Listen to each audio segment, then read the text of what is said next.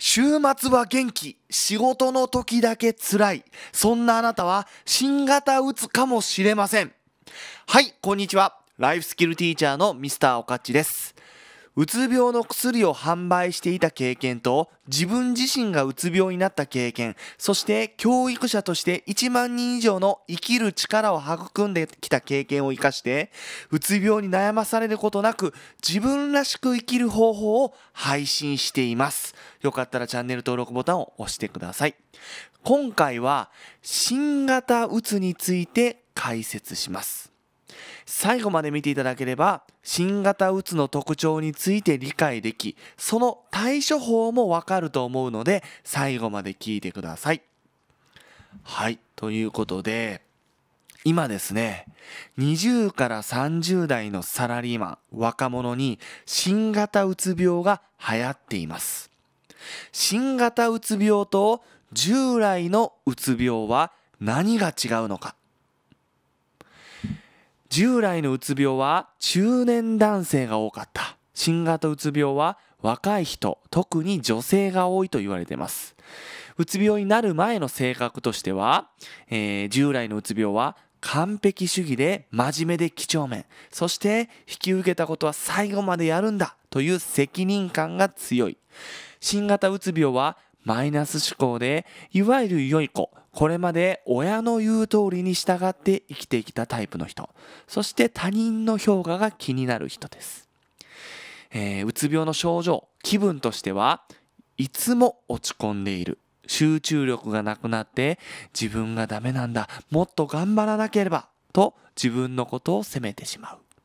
新型うつ病は良いことがあると元気になる。休みの日や休日はえー、趣味とか遊びには没頭できる。で、誰かに否定されたり拒絶されると悩んだり切れたりする。ここが一番大きな違いなんですけど、他人のせいにする。仕事や環境、そして人のせいにする。あいつが悪いんだ。あいつさえいなければ。仕事が悪い。上司が悪い。従来のうつ病の人は食欲はあまりなく体重は減退傾向新型うつ病は甘いものの食欲が増進し体重が増加。少し過食傾向にあります。従来のうつ病は、えー、夜が眠れず。そして睡眠時間が短くなるという特徴があり新型うつ病は、えー、ぐっすり眠れるけれども、えー、睡眠時間が長くなるという特徴があります。つまり昔のタイプのうつ病は食欲がなくて眠れず一日中気分が落ち込んで何もやる気が起きない。新型うつ病は食欲はあって睡眠時間が長くなり仕事の時だけうつになって休みの日は旅行にも行ける。このような違いがあります。えー、っと僕自身はこのどちらもありましたね。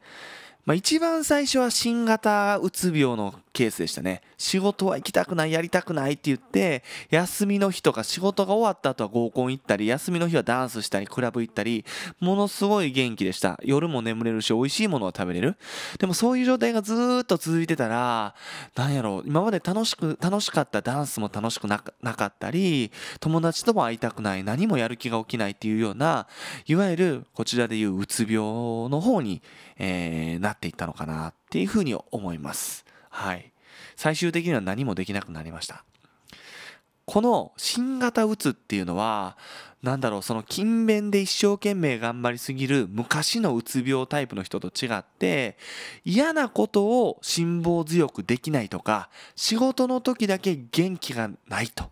いうことで周りから見たら甘えてるだけ怠けてるだけやろって思われてしまったりそれは性格の問題やっていうふうに言われてしまったりしてうつ病を見逃してしまいがちなんですよね。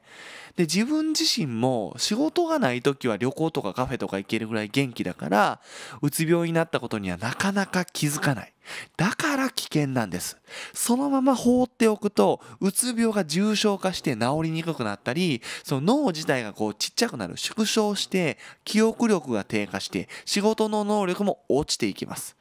だから早い段階でうつを見つけることが大切です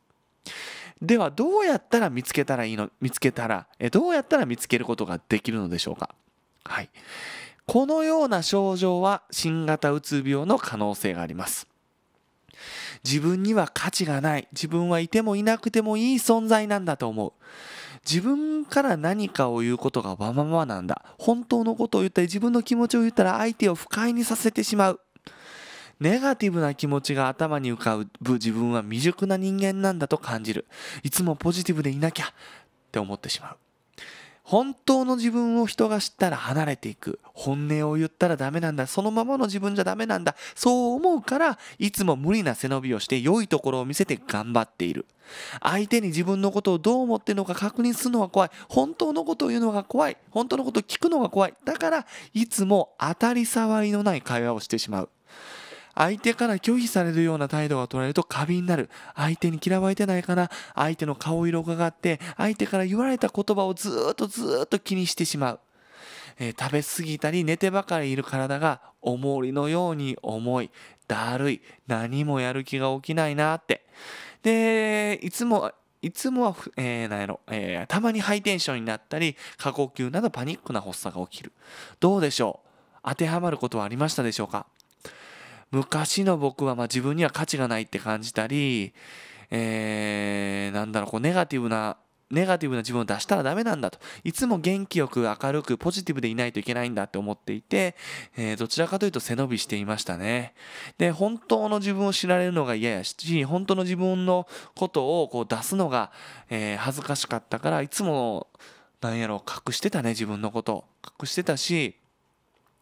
なんだろう当たり障りのない会話。だから雑談してても何も面白くなかった。2人で飲みに行くってことができなかったんですよね。2人で飲みに行ったらずっと当たり障りのない会話、えー、できないじゃないですか。あのー、やっぱ本音の話とか本質にの話やっぱしていかないと2時間持たないでしょ。でも大勢で飲みに行ったらその場だけが楽しかったらいいっていう会話ができてうんだからそっちの方が楽だったですね、うん、昔は。はいということです。えー、まあこれが新型うつの特徴なんですけどじゃあこういう方はどういうふうに治療したらいいのでしょうか？ということなんですけど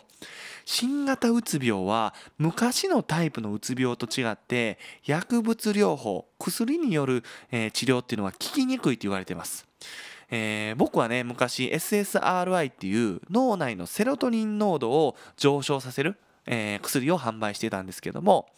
その昔のタイプのうつ病ですと半年で50%近くはうつ病の症状がなくなったり体の症状だるいとか眠れないとかそういう症状が取れていったんですけどもこの新型うつ病っていうのはこのうつ病の薬だけで完全に治るケースはほとんどありません、まあ、症状が取れたと思ってもまたすぐに再発してしまう。この再発率が高いっていうのが特徴です。それではどうしたらよいのでしょうか？うつ新型うつ病を治すにはうつ、えー、薬だけの治療だけではなくて考え方とか生き方そして環境を整えることが大事なんです。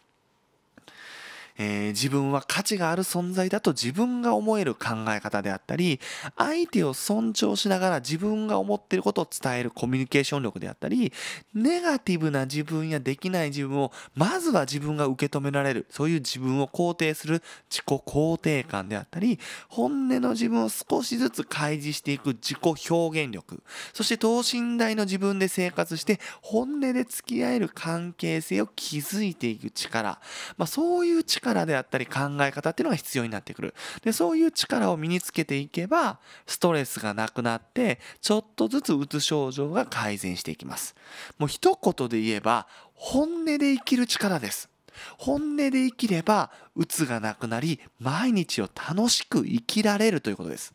そしてこの本音で生きる力を僕はライフスキルと呼んでいます。自分自身を肯定し自分とつながり人とつながり自分がやりたいことに向かって道を作って一つ一つ行動によって前に進んでいく。そして問題にぶち当たったらその問題を一つずつ解決して自分らしく生きていく。それがライフスキルです。このチャンネルでは本音で生きるための行動習慣やライフスキルを紹介しています。えー、もしよかったら、えー、チャンネル登録ボタンをポチって押してもらえたら最新動画を見逃さ見逃さないのでよろしくお願いします。あとブログではより詳しく日常でどんな考え方をしたらいいのかっていうのを解説しているので概要欄からご覧ください。えー、で今日の動画ちょっとでも勉強になったためになったおかっち頑張れそして自分自身も頑張れって思う方は高評価ボタンを押していただけたら嬉しいです。はい、えー、まあ、うつの方に頑張れっていうのはちょっと言葉がちょっと今間違えましたね。えー、まあ、そのままでもいいです。大丈夫なんで、えー、一つ一つ、えー前に進んでいきましょう。ということで、今日はこれでおしまいです。The end. それではまた会いましょう。さよなら。